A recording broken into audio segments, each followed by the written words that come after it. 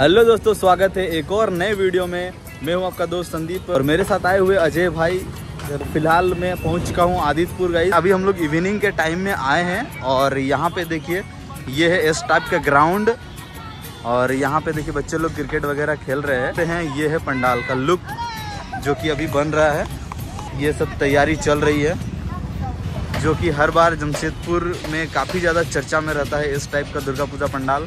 तो गाइज़ इस बार आदित्यपुर इस टाइप में बनने वाला है सोमनाथ मंदिर का जो व्यू है, वो बनने वाला है जो कि गुजरात का बहुत ही प्रसिद्ध ज्योतिर्लिंग में से एक है, भगवान शिव शिव शंकर का जो मंदिर है। और इस बार का जो लुक है, कुछ इस तरह से है, देख सकते हैं। काम अभी प्रोग्रेस में है, चल रहा है काम। यहाँ कुछ डिज़ाइनिंग वगैरह बन के रखा गया है। ये सब लगने वाला है। और इस साइड से पंडाल का जो व्यू है, वो इस तरह से है। आप लोग कहाँ से हैं? हाँ?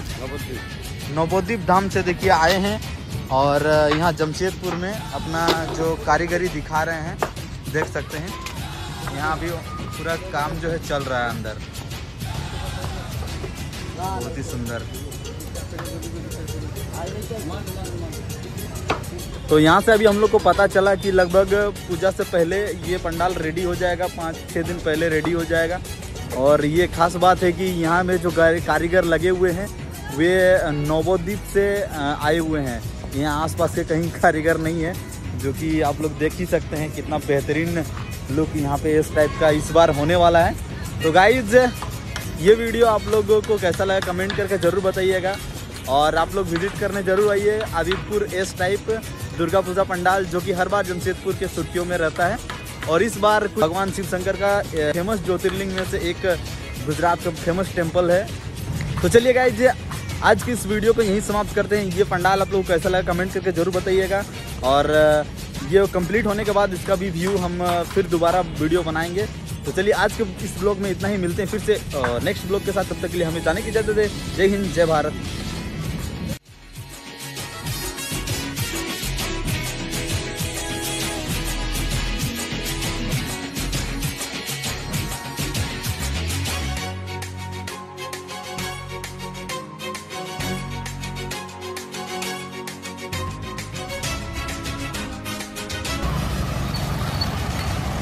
और ये है आदित्यपुर का मेन रोड जो है, आगे में है, देख सकते हैं। और इस, ये यहाँ से पूरा जो है, पूरा भीड़ रहता है, पूरा जाम रहता है रोड ये करीबन, ये पूरा मैदान, मेले के, मेले में जो झूला वगैरह रहता है, उस सबसे भरा हुआ रहता है। और देख ही सकते हैं, ये आसपास का जो इलाका रहता है, पूरा जाम रहता है, पूरा क्राउड रहता है गाइस